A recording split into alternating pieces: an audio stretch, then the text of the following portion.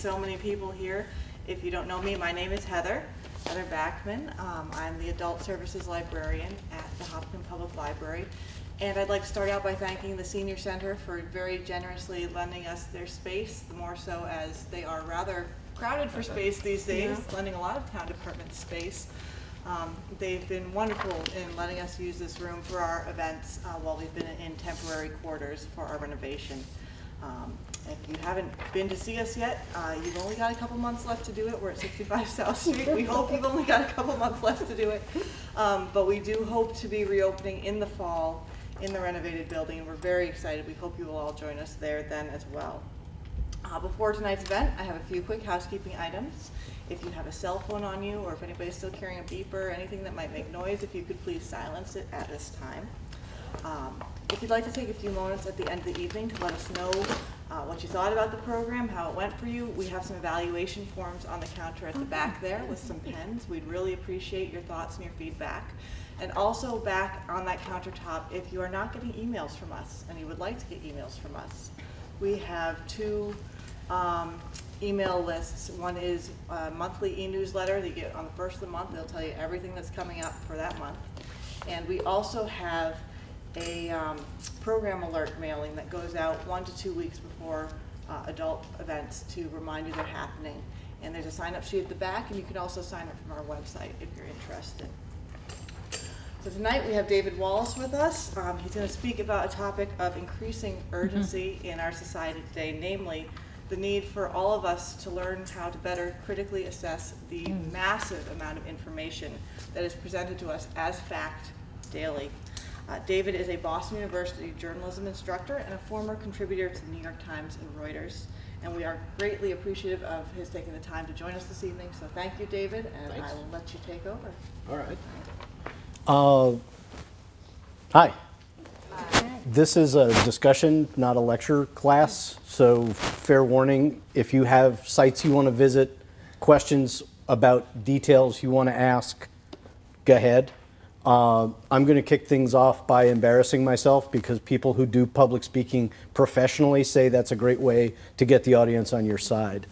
Um, Factually accurate, potentially embarrassing are some of the details that Heather just gave you. So you have to ask for more detail.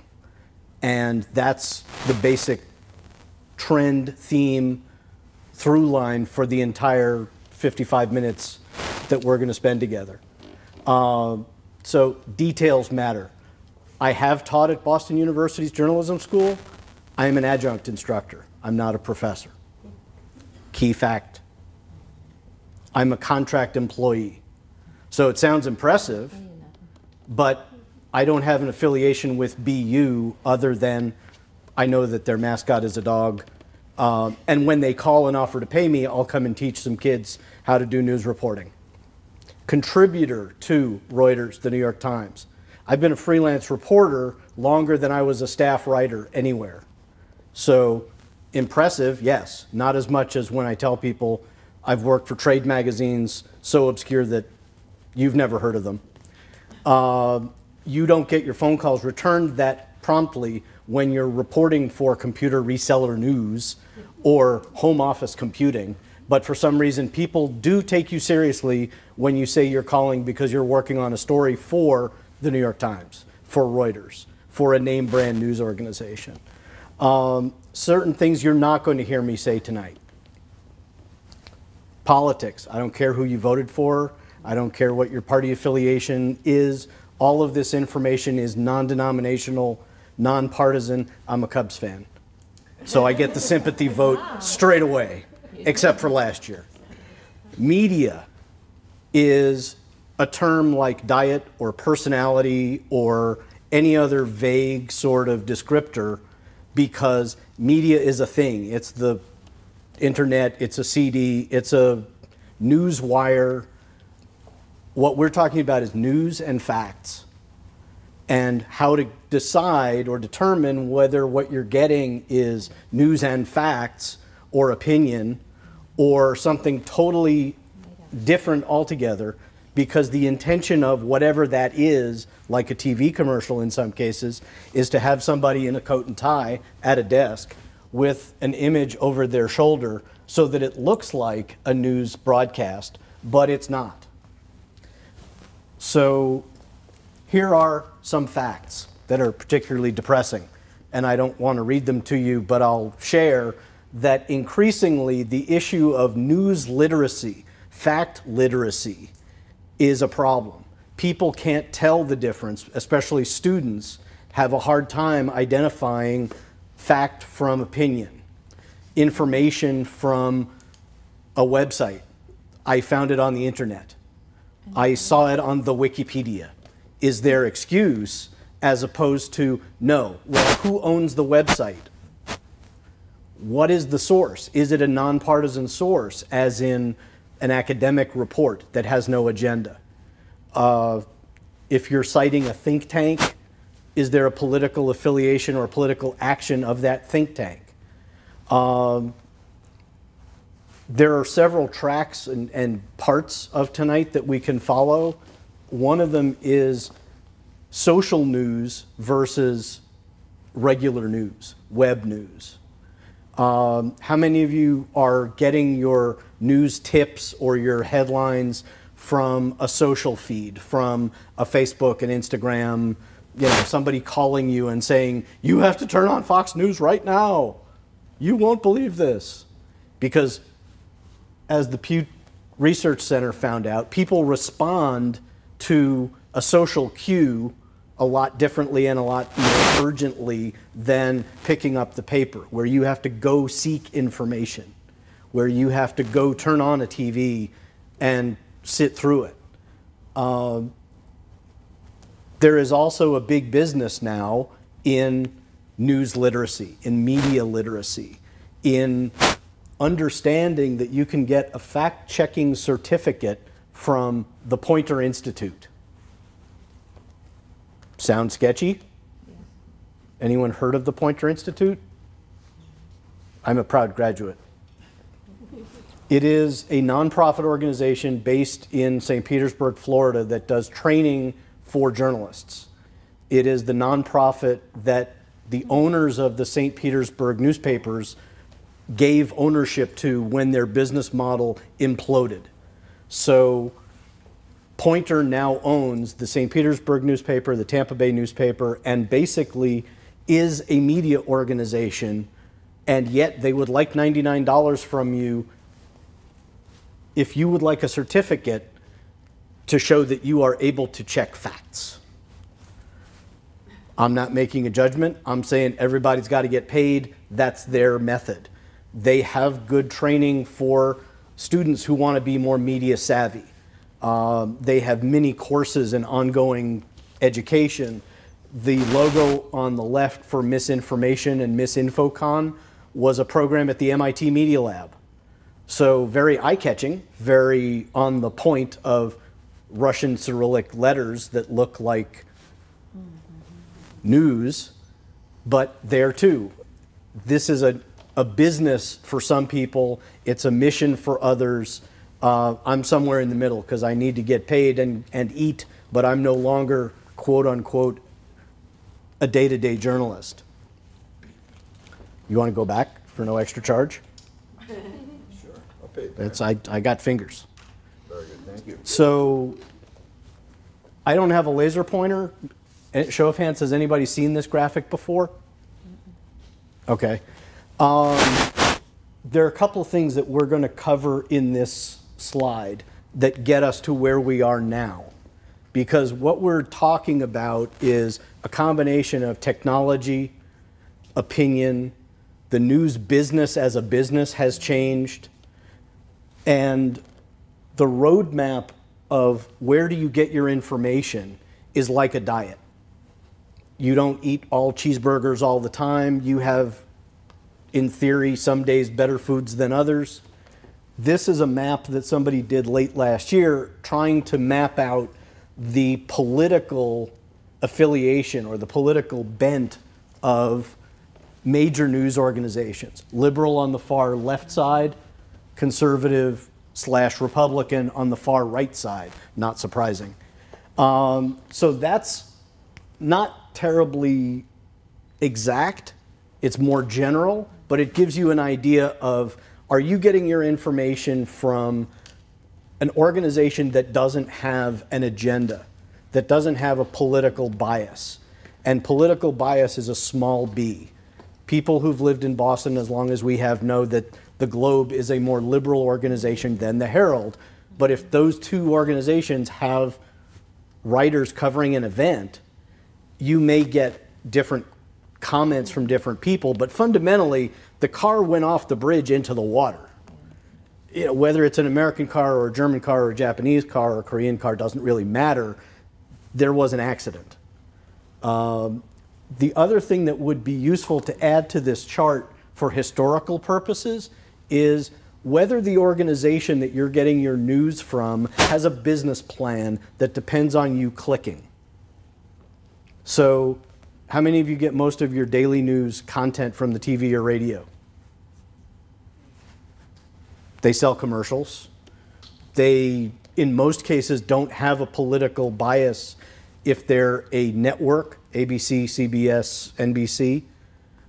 In cable land, there's a much greater range of political points of view. In order to get that audience, whatever it is, that might per, prefer their information to come with a point of view, to not get objective news. So, looking at this chart, the organizations that make you click, do they sell advertising?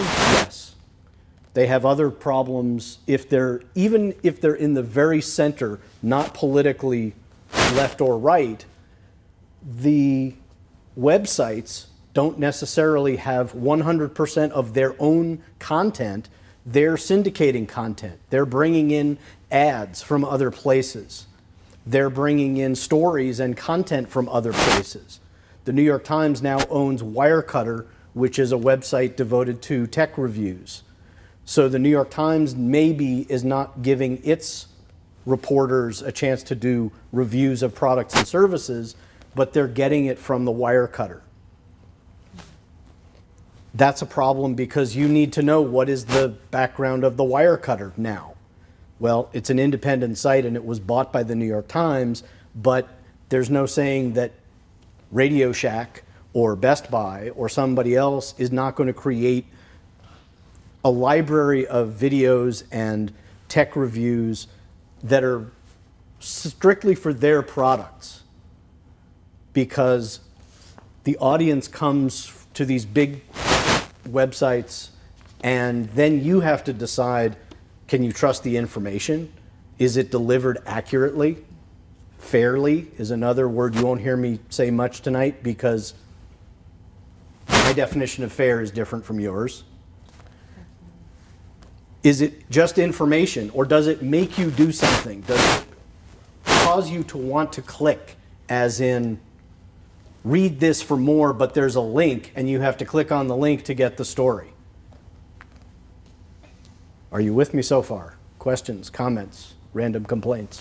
Yep.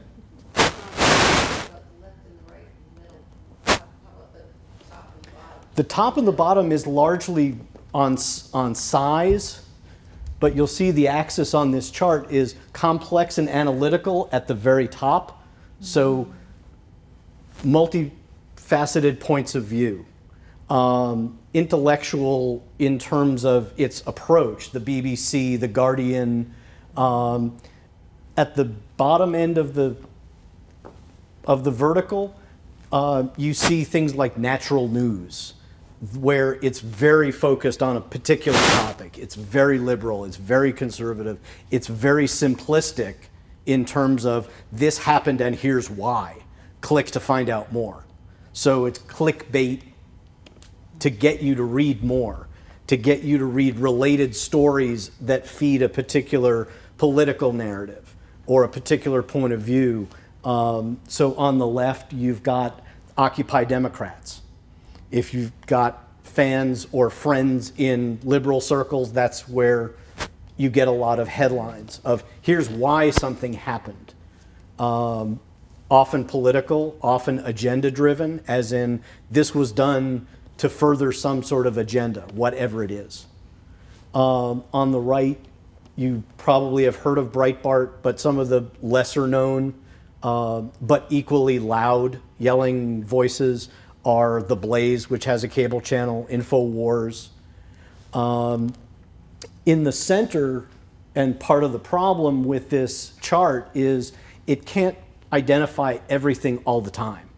There may be an opinion show on CNN where you've got people sitting politely around a table discussing, and it's an opinion. What they're talking about is their interpretation. They've got a lot of time to kill on the airwaves. So you've got a lot of people with time to speculate on why something happened or what the next implications are of this action when they have no blessed idea, but they have time to fill. So they have to say procedurally, well, Bob, what is going to happen next after charges are brought? Well, you know if you've been to a courthouse what the process is for an indictment. But unless there's an indictment, there's nothing happening. Um, I'm old enough to remember that you don't say something could happen in print. Why? Because it might not happen. You don't go with a story, especially not in a large and reputable news organization, saying that Ralph is going to file a lawsuit tomorrow against Bob because it hasn't happened. It might not happen. Bob may take down the fence, stop his chicken from getting up early in the morning, whatever it is that was the source of the lawsuit. And until you know what that is in a public document, in a police report, in a court filing, with an action that has occurred, all you're doing is speculating on what might happen or second or third handing information. Right? Yep. So, Well, the- all these charges of fake news and uh, liberal news and conservative news, uh, and then unbiased news too, I suppose. Um, How you, de- how are you defining the news? And I'll give you an example of what I mean. CNN has news. Mhm. And then right afterward, they got a panel of five people. Right. Actually, a little like Hollywood Squares sometimes. Right. And, uh, and they're all gabbing about what was actually just reported as fact. Right. Now they're making stuff up and speculating. Well, they're either some are making stuff up, some are are speculating for reasons why. So what I define as news is things that are happened, things that are happening, current tense, things that are scheduled to happen. And my language is fairly precise because I was raised by lawyers. So if there's a lawsuit with a hearing that is scheduled, that's a thing. The next step in a process. If somebody is arrested for drunk driving, they appear before a magistrate. They either make bail. If they don't have money, they don't make bail, and they're held. There are documents behind all of those from an official source. Have I heard some wacky projections of what is supposed to happen or theoretically going to happen? Yes. But I don't consider that news. Until it happens, it's not an event, it's not a fact. It's a guess, it's a possibility, it's a great way to fill time and blah, blah, blah, because it's what I do best is blah, blah, blah. But number one on this list of particulars is every story is constructed. Certain things are going to be left in, certain things are going to be left out. I have had existential philosophical questions with students who are making themselves absolutely tied up in knots over what to leave in as most important you know, what to frame in a photograph because if I take a picture of you because your purple blouse is outstanding color for tomorrow morning's newspaper, I'm going to miss somebody who's out of the frame. And that to a student who wants to be all things to all people is really just too much. So every story you're going to see is going to have some point of view that is omitted. It's not going to be able to cover every political vantage point, either Republican or Democrat or Libertarian or Rastafarian. But if you want the Rastafarian view of the US election, I have no doubt there is a website that will give you that particular vantage point on what it means for Jamaicans, Rastafarian population now that something has happened in the State House, in the White House, in any sort of situation. Um, questions about these sort of facts about media messages. And the reason I have used media on this page is it may be a website, it may be a TV program, as in a video that appears on your television.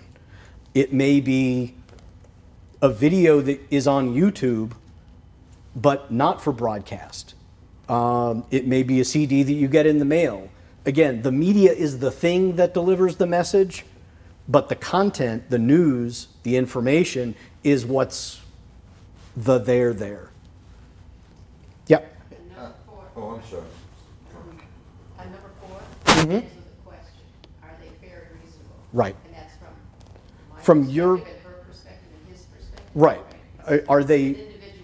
It, it, you have to interpret whether the information that you're getting is unbiased. You have to get what you decide is facts, as in, a- and an- another example from the classroom. Show me an image of a hat and describe the hat. It was green, it was pointy, it was made of felt with a big brass buckle. Don't come and tell me it's an ugly hat, because that doesn't help me. So think about the information that you need to make a decision because you're then going to make an up down decision on is this a good law? Is this a good outcome? Um, is this a fair punishment for a drunk driver? Um, is that a terrible shame? Well, we've got people at the White House podium describing an atrocity that's a very loaded word and it connotes very specific things in terms of human rights. You know, wearing plaid and stripes is not an atrocity unless you're watching a particular fashion network that uses that kind of hyperbole. So is the language in what you're seeing on TV is it loaded with that kind of judgment or that kind of call to action of you need to call your congressman now. You need to click here for more information. Or is somebody giving you a dispassionate description of what they've seen and letting you decide is it terrible? Is it horrible? Is it positive? May I ask a question? Yeah. Have you, um, or anyone done any studies to see how much of this, uh, new media, and when I say new media, I mean the stuff that you mentioned with Breitbart, uh, that, a couple of the others, um, has anyone figured out the difference between how much truth is being told and how much fake news is being presented? how much is a is a moving target and it changes every day. So I believe the world is I I mean if I believe the earth is flat again this is beliefs and interpretations. What is fact? If you want to engage me in a deep philosophical discussion of what is truth that's going to cost extra and it's going to probably involve adult beverages.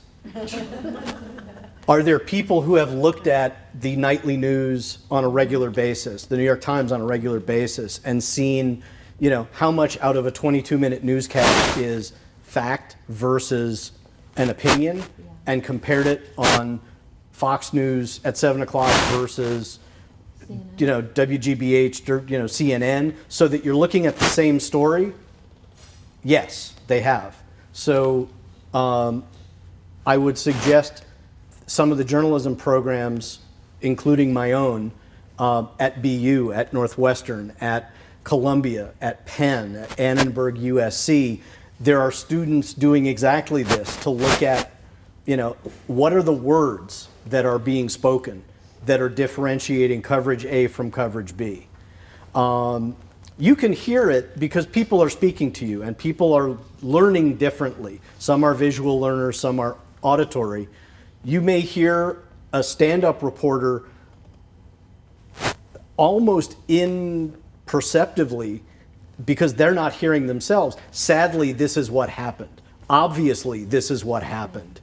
Um, they're under a lot of pressure talking to a camera on live TV with notes just off camera telling you about a car that smacked into a guardrail and killed a teenager.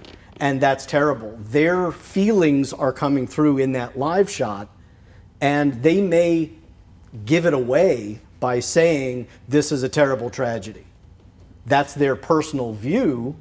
Um, I have, true story, worked for a newspaper that was owned by a railroad company at one time. There were no accidents in northern Florida. There was never a train that struck a car, I was told, because in the days when the railroad owned the Times Union and the Jacksonville there may have been an incident or there may have been a collision, but there was never a news coverage because until it was decided by the federal agency overseeing railroad safety, it was not prudent legally to say anything about who was at fault in an accident. So, again, who owns the media that you're seeing? Increasingly, larger and larger corporations with smaller and smaller numbers of divergent viewpoints. But you need to look at a particular website that you don't know about, for example, conservative101.com, and look at who the owner is. You can do that on the intertubes. You can't do that on your TV. Um, but here's an example where the exact same story with the exact same photo is spun two different ways for the purpose of clickbait because the people who put this together know that you're at your computer. You're going to flash on shiny objects and go, ooh, interesting. You know, what are the secrets that the producers of Gilligan's Island didn't tell us?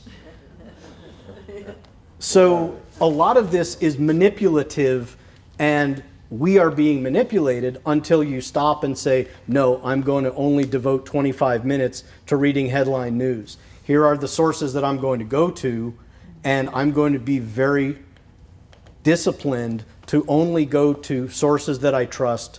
You may need to look at the level of reporters whose names you know and you follow them because they're local or because they have expertise in an area that interests you. Um, an example is David Cay Johnston, um, who now is independent but has been a reporter for the New York Times, for the Philadelphia Inquirer. He's won a Pulitzer Prize. He's covered the, the business of Donald Trump for nigh on 30 years. So he's got domain expertise that a lot of reporters don't have. I'm going to look at his byline and I will know that because I was a business reporter and you might not know that bio, but if you find that person who covers what you want covered, left-handed high school lacrosse expert, you know, follow the people, not just going to the website and assuming that because they were employed yesterday at CNN, they're going to be employed tomorrow at CNN. CNN may just be pulling them for a live shot to do a discussion, as they are often now doing with staffers from the Post, the Times, the mainstream large print news outlets, or the wires. Here are other clues that you are being drawn to or pushed to sites that are not legit, as MC Hammer told us so wisely. So there are domain manipulators. There are sites that are just one letter off, but they're really on a New Zealand server. So if you go to .nz, it's not the same as a .biz domain, which is legitimate and may be an actual business. So the example that I use is abcnews.com.co is a web server in Colombia by somebody who decided, well, we could put ABC News in really bold all caps. People will think, because they read left to right, that it's the proper place. But in fact, ABC News uses the domain go.com. So if it looks similar, if they have the graphics that are red, white, and blue, maybe it's USA Today, maybe it's usanewstoday.com, which is a spoof site, not the actual newspaper that's owned by Gazette. If I use the, the geek term filter bubble, does that sound familiar to you? Do you know what that is? No. Would you like to see a video that explains what it is? Yeah. Basically, the concept behind the filter bubble, and I'll ruin the surprise ending, is the fact that unlike TV news, unlike newspapers, what you see on the internet is driven by what you've already seen or clicked on on the internet. And this is called a filter bubble. What you click on is searched, saved, cookied, tracked. So it's not surprising that companies have figured out that they can capitalize on this because I know who drives a Mac and who drives a PC. True story. Orbitz got in some serious trouble charging more money to people who owned Macs for certain travel because the perception was they had more money. Um, I forget the name of the college prep organization that had figured, I think it, well, I'm not going to say because I don't remember exactly, but recently, within the past couple of months, there was geo targeting on top of filter bubble targeting. That a college prep organization had figured out that they were going to raise the price for Asian families in several cities in the Northeast because they were more likely to be shopping college prep courses for their kids. And that was a more likely audience. Let's see if we get enough audio for hearing what Eli has to say. Mark Zuckerberg, a journalist was asking him a question about the news feed. And the journalist was asking him, you know, why is this so important? And Zuckerberg said, a squirrel dying in your front yard may be more relevant to your interests right now than people dying in Africa. And I want to talk about what a web based on that idea of relevance might look like. So when I was in a, in a really rural area in Maine, you know, the internet meant something very different to me. It, it meant uh, a connection to the world. It meant something that would connect us all together. And I, I was sure that it was going to be great for democracy and for our society. But there's this kind of shift in how information is flowing online. And it's invisible. And if we don't pay attention to it, it could be a real problem. So I first noticed this uh, in a place I spend a lot of time, my Facebook page. I'm progressive politically, big surprise, but I've always, uh, you know, gone out of my way to meet conservatives. I like hearing what they're thinking about. I like seeing what they link to. I like learning a thing or two. And so I was kind of surprised when I noticed one day that the conservatives had disappeared from my Facebook feed. And uh, what it turned out was going on was that Facebook was looking at which links I clicked on. And it was noticing that actually I was clicking more on my liberal friends' links than on my conservative friends' links. And without consulting me about it, it had edited them out. They disappeared. So Facebook isn't the only place that's doing this kind of invisible algorithmic editing of the web. Google's doing it too. If I search for something and you search for something, even right now at the very same time, we may get very different search results. Even if you're logged out, one engineer told me, there are 57 signals that Google looks at. Everything from what kind of computer you're on, to what kind of browser you're using, to where you're located, that it uses to personally tailor your query results. Think about it for a second. There is no standard Google anymore.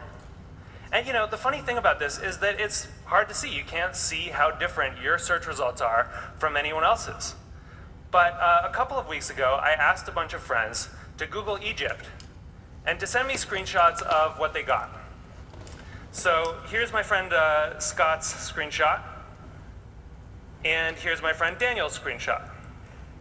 When you put them side by side, you don't even have to read the links to see how different these two pages are. But when you do read the links, it's really quite remarkable. Daniel didn't get anything about the protests in Egypt at all in his first page of Google results. Scott's results were full of them. And this was the big story of the day at that time. That's how different these results are becoming. So it's not just Google and Facebook either. You know, this is uh, something that's sweeping the web. There are a whole host of companies that are doing this kind of personalization. Yahoo News, the biggest news site on the internet, is now personalized. Different people get different things. Huffington Post, the Washington Post, New York Times, all flirting with personalization in various ways. And where this, this moves us very quickly toward a world in which the internet is showing us what it thinks we want to see, but not necessarily what we need to see. As Eric Schmidt said, it'll be very hard for people to watch or consume something that has not, in some sense, been tailored for them. So I do think this is a problem. And uh, I think if you take all of these filters together, if you take all of these algorithms, you get what I call a filter bubble. And your filter bubble is kind of your own personal, unique universe of information that you live in online.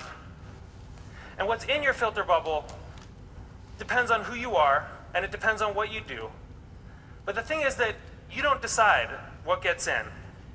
And more importantly, you don't actually see what gets edited out. So one of the problems with the filter bubble was discovered by some researchers at Netflix. And they were looking at the Netflix queues and they noticed something kind of funny that a lot of us probably have noticed. What we're seeing is more of a passing of the torch from human gatekeepers to algorithmic one, sweating a lot about their civic responsibilities. Then people kind of noticed that they were doing something really important. That in fact you couldn't have a functioning democracy if citizens didn't get a good flow of information. That the newspapers were critical because they were acting as the filter, and that journalistic ethics developed. It wasn't perfect, but it got us through the last century. And so now, we're kind of back in 1915 on the web. And we need the new gatekeepers to encode that kind of responsibility into the code that they're writing. You know, I know there are a lot of people here from Facebook and from Google, Larry and Sergey, who, you know, people who have helped build the web as it is, and I'm grateful for that. But we really need to you to make sure that these algorithms have encoded in them a sense of the public life, a sense of civic responsibility. So that's a good introduction to the concept of a filter bubble is you don't know what you're missing and you may not know if your sources of information even from the same website at the same time have the same information. Um, so the next part of this is what do you do about it? What can you do to fact check the information that you're getting, that it's legitimate. Um, yes, from most news organizations, they do run corrections, they do update things when the information that they have is superseded because there are certain things that are a fact today that are going to be a fact tomorrow. There are other things that are a fact today that may be corrected or changed or interpreted or spun tomorrow. So here are a couple of examples of websites that allow you to get more information. If you go to a site like Whois or Better Whois, you can see who owns the domain of the site you're clicking on. Um, these are sites that are current as of May 2017. They may be expanded or changed. There are some others on the next slide. Uh, if anyone wants a copy of this list, I can email it to you. Um, the next as a list is organizations now are getting in the mindset of doing the fact checking on media in real time. Um, the Pew Trusts, you may have heard during campaign season, PolitiFact, um, some of the the academic, either political or media schools that are making this a sideline business, getting back to media literacy, political literacy, understanding the civics lesson of how things work, because there are people making claims about procedural steps or what should have been done under the law that aren't being done, and in fact, they're not experts they're not really talking from experience. They're wishing and hoping and praying in some cases for things that may or may not happen, like rain tomorrow. So, all of these are sites that are helpful Your judgment counts because you've got to decide whether this attention is fair, whether the amount of time and money and hot air being devoted to whatever the topic is suits your interest. Or push the button, step away from the screen, and get on with your day, which I strongly encourage. It's a great coping mechanism.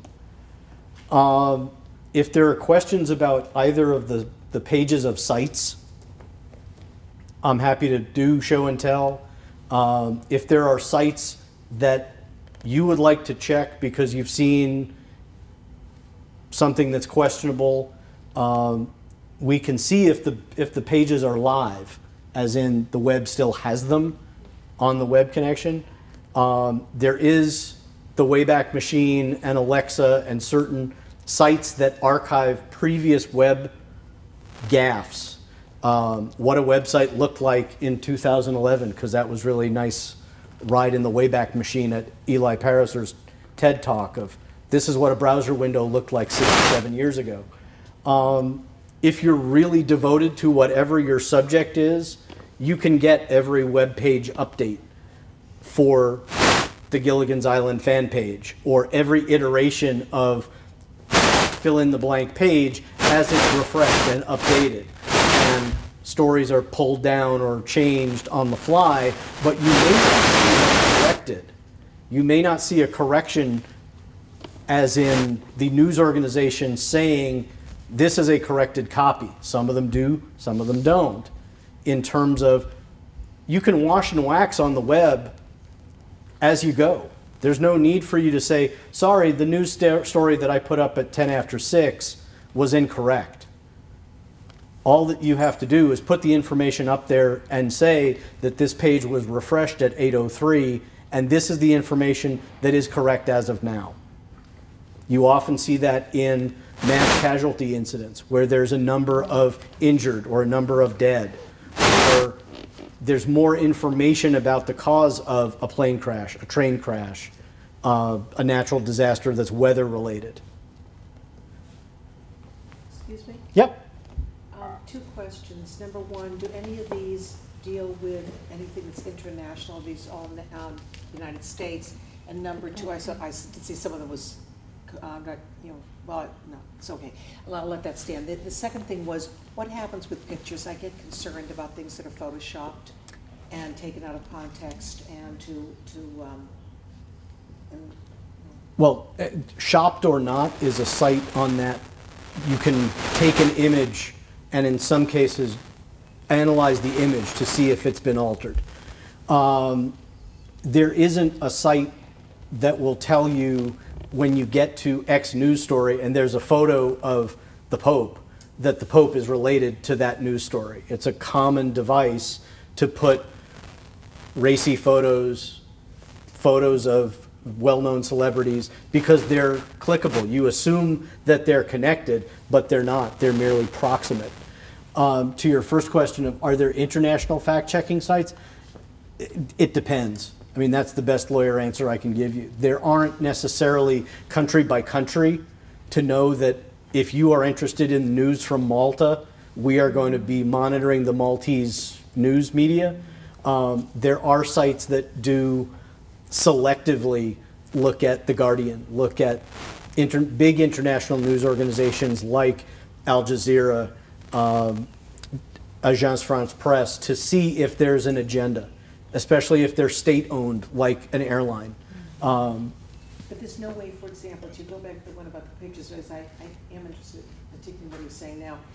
But if, um, it's not so much that the picture has been changed, but, um, that there's no way to find out whether the view that has been taken of something that looks like somebody is doing something, they're doing something from an angle so that it appears that they're doing something because you're dealing with a distance and a near, far, proximal, you know, type thing.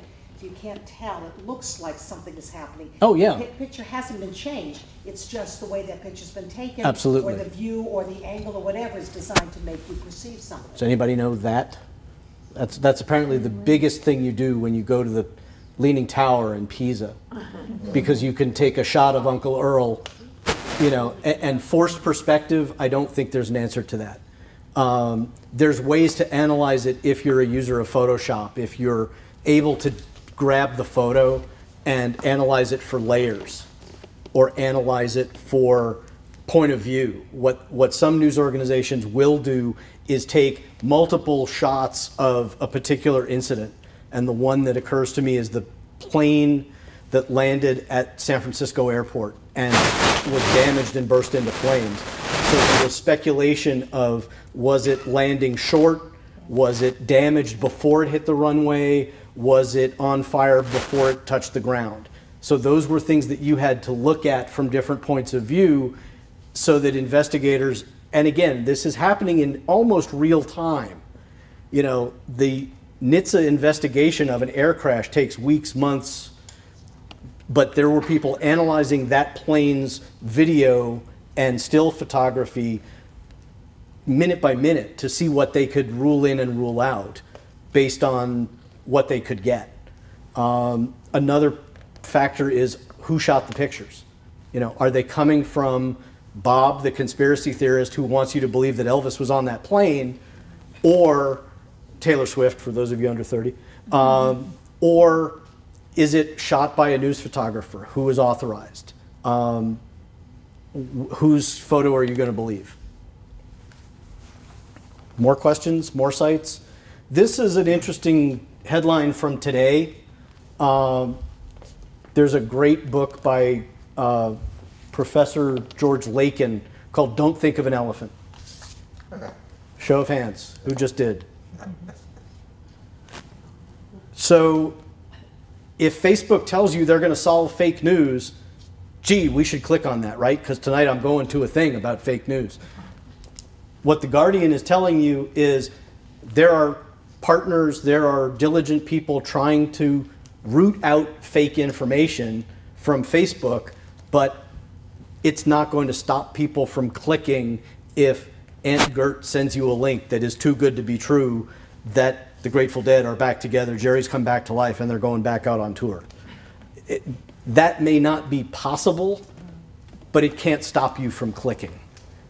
And the tantalizing prospect that Jerry has come back to life to play guitar again is really awesomely epic. And you're not sure. You, you've got that moment of doubt where you're thinking, oh, it could happen. But The Guardian and some other organizations now have media debunkers, media watchers who are doing some of this coverage to identify who gets a thumbs up and a thumbs down. Um, who is a source that's useful and helpful on breaking news versus who's just going to blah, blah, blah all night because they don't have information and the producer's voice in their ear is not giving them anything new to, work with. Uh, other sites we should visit, other news that may or may not be things you want to know more about? I have a question on that bubble. Yeah. I- On Facebook, which I don't use a whole lot, but it- I've just per- been perceiving that it has done something to me. Mhm. And this is what it did to me. Yeah. Which is really weird, because I, I would like to think, um, I'd like to look at another side's perspective in what's happening in the world, but nothing comes to me about that. It only comes to my, my Some perspective is the only thing that comes to right. Some organizations are doing something like that. The Washington Post has Red Blue. Um, there are other news organizations that are putting at the bottom of their web page. You know, if you like this article, click on this link to see the other vantage point of a certain set of events, to see a different point of view. Um, my preference is local. Get as local to the information as you can to get information because the national organizations don't know fill in the blank town as well as the local news, the local TV, the community newspaper. Um, they don't know the people and they don't have the, the background because they're writing for a broader audience. Um, if you don't see the point of view in what you're reporting, a good rule of thumb is you can go back to that chart at the first of InfoWars telling you that something happened to Hillary Clinton. Well, okay, Google as specifically as you can, email server, Hillary Clinton, and then look at split screen, awfully useful helps as well. You'll see certain words that are trigger because they're emotionally loaded, you know. What was illegal or what was immoral or fattening is often in the copy when you go see what the other side said about a certain event or opinion. Yeah. Is there anyone collecting data that shows maybe that people are becoming more critical about their news? Is anybody looking to see whether people are more curious about their news and are following up by doing some investigation on their own? Is anybody looking at that? Um, I'm sure they are, but they're looking at it through lots of different telescopes. So you've got local news like Gatehouse Media trying desperately to remain a local newspaper or a local news website. Um, it's hard to say what news consumption is because it varies so widely. It was easy in the days of TV broadcast news to say, okay, how many of you are sitting down to watch the six o'clock news, the 10 and the 11 o'clock broadcast? Now you've got giant swaths of four hours of local news from 5 a.m. to 9 a.m. Are you watching it? Not really. You're probably mixing your hot cocoa and doing other things, and it's background noise. Mm-hmm. For the purposes of advertising prices, that station wants to say that you're a viewer. So it's, it's very hard because it's a very squishy topic.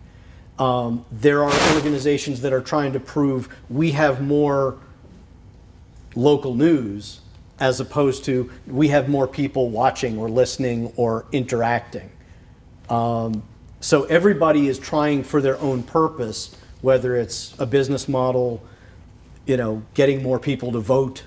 Um, there are lots of different metrics that you use to decide whether news consumption is up or down.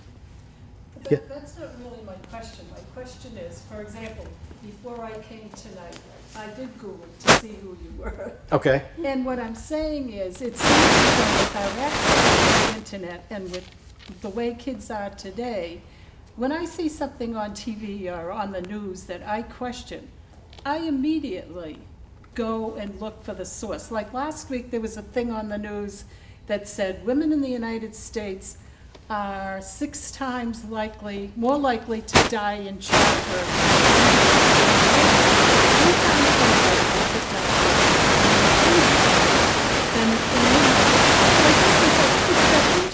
So I followed up and I, and the actually And, you know, I looked at it first, but my question is,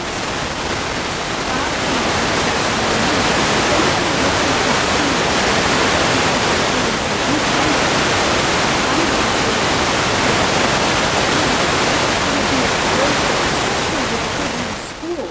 Check, you know, this is this thing that we should be doing, and are we actually bringing that forward with the population? I don't know that there's an answer to the question of are, is anybody studying this? Right. The answer is they're trying to get this to be a habit.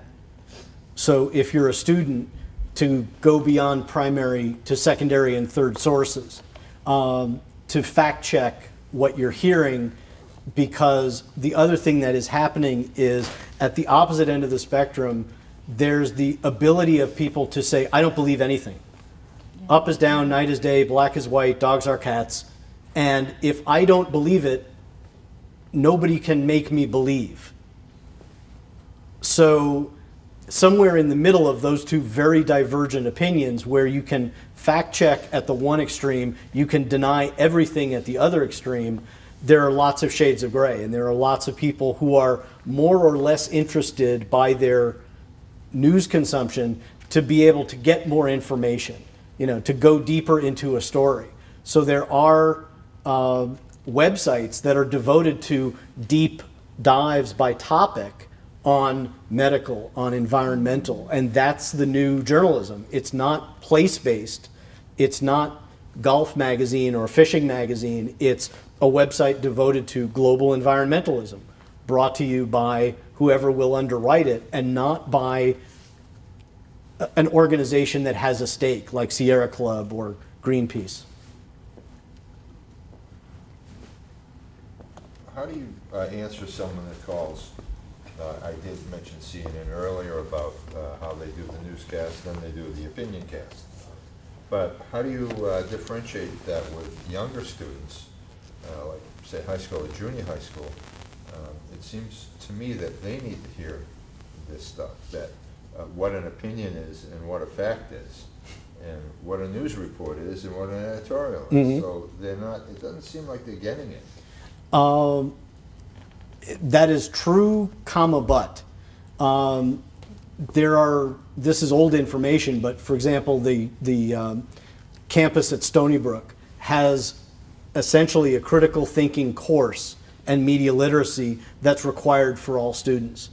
Um, students who were raised to be curious, to go and look at a textbook or go to the library and ask a research librarian, have a lot better ability to sort out critical facts than somebody who comes home and says, you know, Mr. Hendricks told me that up is down and night is day and cats are dogs, and he's my teacher, so I believe it.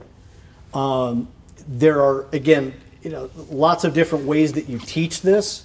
Part of it is don't believe everything that you read on the internet. Um, part of it is the, tr- the tough love of the Chicago journalism lesson. If your mother says she loves you, check it out. you know, you need two sources from independent verification in most news stories. That is the standard by which a story gets on network TV, the major national news organizations, or the wires, unless somebody was there to say, this plane hit the ground, it went boom, I saw it, and I'm a news reporter, you should take my word for it. Um, so, in, in lots of cases, what's the, it, it becomes a case of how far are you able to devote your time and effort into proving certain facts and figures. Um, a lot of students are not willing to do it because they take everything at face value, unless they're told, no, you need to come up with a source that isn't Wikipedia or the internet for your term paper, you know, little Johnny. Um, you need to crack open a textbook or talk to a, you know, an expert in the field. I'll go to the library. Right answer. Job security for research librarians.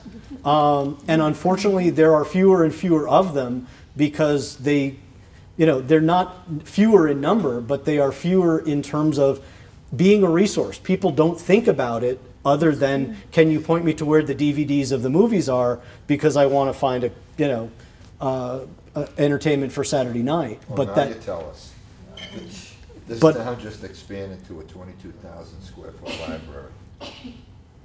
congratulations. September, hopefully. Well done. We're From- very excited. What was it before, five or seven thousand? Uh, somewhere in there. I wanted, I wanted to say six, so. It's gonna be a social center too. Yeah. So uh, the, the nature of the library is changing. So a lot of information that you get at home on your computer means that the library has to step up its game and get specialized information or access to databases that are expensive or very specialized that not everybody can get with, you know, a standard email And search. just be the steward of a town's information for per- perpetuity. And I think that's what we're seeing them turn into now. But they've always been that, I think, you know, you go back to Alexandria. Uh, This, you know, they may, you have room for city hall's records and becoming a, you know, a sort of civics lesson of this is how you get a building permit.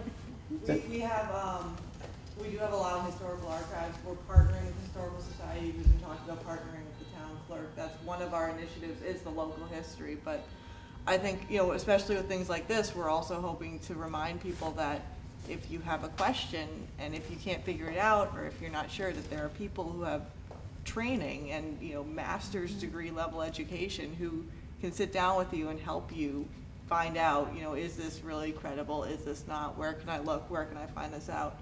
Um, I've had people come to me saying, you know, I'm trying to figure this thing out, I can't find it, they've been all over Google, I pull it up for them in five minutes. Because I know the tips and the tricks that, you know, that not everybody knows, they're sort of specialists. Um, I think, you know, more people need to realize that we can do that for them. because- Boolean search is not for amateurs. yeah, no kidding. or even just knowing, you know, all these sites you put up. I didn't even know some of them, but I- I know, you know every library I know keeps a running list of, you know, here's some great resources that probably nobody's ever heard of except for, you know, six librarians. There are lots of others on the Shorenstein Center from Harvard, uh, the MIT Media Lab. I mean, this is getting to be an ongoing activity, both in education fields and research, but also in, you know, general studies. Uh, is compiling pieces of information and a bunch of people who get mad as hell and say, I'm not going to take this anymore. I'm going to put a website together. I'm going to put a slide deck together and take my act on the road. So thanks for having me. Just as a comment, the, my daughter's in eighth grade and they did do a unit on, on fake news this Wonderful. year. So they mm-hmm. did, and they had like two art, right, articles and you had to read the two and kind of do some critical thinking about. Let's just say there's a lot of arguing back and forth. You know, another thing that, I started this, uh, what I do, hopnews.com, in two thousand three, and we grew very fast. And then we had uh, tragedy in town where a man from Britain moved here ten days before he killed his family. And, uh, being in town here, myself, I had, I had everything. And there, there were some things that, just as an aside, this isn't where I'm getting to, but as an aside, uh, I had information I did not reveal. And everyone I've known in the business uh, has said, oh no, if you have the information, you have to make it public. I said, no, because this guy would have, would have fled if he knew they were testing his guns. Because he put the gun back, the, the murder weapon, in the collection. So he had to be a- a sociopath, a psychopath. So where did the, uh, where, where did, um, the line, where did I cross the line? Everyone's told me, no, you have to get the information out. Now, I, one of the national correspondents today, uh, CBS, I believe it was, said something about, uh, the, um, that, uh, they weren't gonna tell the town, or the locale, or the area where Trump had, uh, gotten his intelligence, and where they had gotten the intelligence about the laptop bombs. Uh, then I see, oh, it was yesterday, then I see Colbert telling, telling the, uh, yeah, the location was Israel, he said. Um, that, and that's just an aside, but just to give a little of my perspective, if you don't mind. By the way, I've enjoyed your, uh, I've enjoyed your talk. Um, but we've seen Facebook, uh, and other organizations that aren't as professional, if I may say so, um, take our information.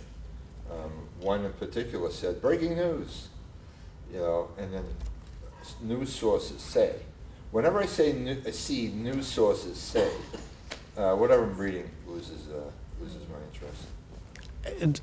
there's no question that anonymous sourcing is a problem, that trust is a problem, that timely information, because news websites know whatever the most popular links are, there's no charge to leaving them as live links. So you've got to then look at the top of the story and say, well, that was an interesting headline, but it's a three year old story about a restaurant that closed or about something that's, that's happened.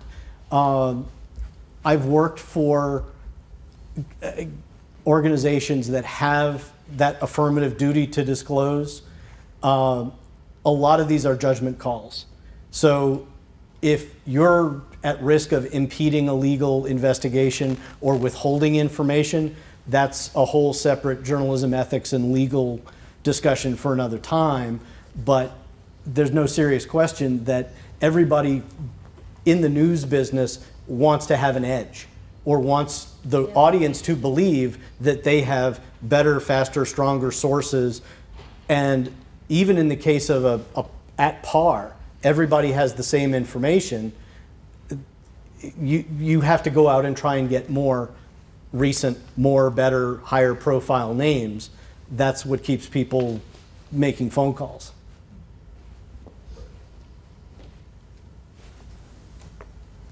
Yep. Is Gisele Bündchen a good source that Tom Brady played with a concussion? That, uh, today's news of, you know, Dr. Bündchen has diagnosed him as having a, a concussion. Um, And played, yeah. Uh, you know, I, uh, as good as any. Um, it, it's information that might not have come out from the Patriots organization. Um, it, it- we may never know unless he decides to disclose medical records, but it gives us what to talk about. Of is it true? Is it not? You know, was he a little groggy because the green goo he was eating that day, you know, was a little past its sell-by date. Um, we may never know, but you know, it, it gives us what to discuss and, and what to wonder about. Wondering what she, how she came To pay, Reveal right? that. Yeah. to, to All I know is the wife is always right. He's a very private The, person. the, the correct answer there is yes, dear. I, I should stop while I'm ahead, and I and I have yes, dear recorded somewhere. Driving here on the radio, so- they said that the Patriots organization has no information about him ever having a concussion. They have nothing on the record, so maybe something, he's kind of a tough guy. Maybe he didn't really tell anybody, he just kept playing, he got home and went, whoa. So it wasn't reported officially. Okay, if it wasn't official, it never happened unless his doctor personally says otherwise. Unless somebody has diagnosed him and has a paper record of it. Otherwise, it gives us what to speculate about. Do you want to push the button and make the rest of the evening off the record?